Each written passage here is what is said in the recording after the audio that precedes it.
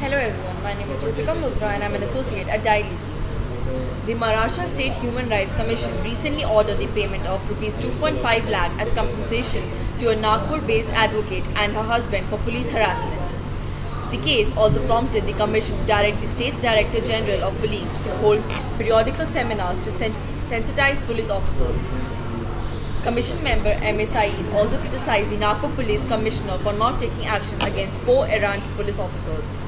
Accordingly, the Commission directed the four police officers to jointly pay a compensation of Rs 2,50,000 to the advocate and her husband within a period of six weeks. It added the couple was at liberty to launch a criminal prosecution against the police officers as well. Pertinently, the Commission noted that there were an alarming rise in such incidents at police stations.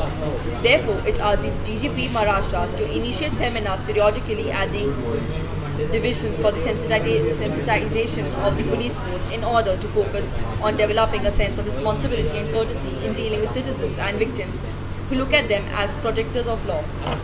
Nagpur-based lawyer Ankita Makheja and her husband Nilesh had moved the commission through advocate Rizwan Siddiqui seeking action against police officials for illegal detention and harassment. The couple alleged that instead of registering their complaint, the police illegally detained them and harassed them physically and mentally.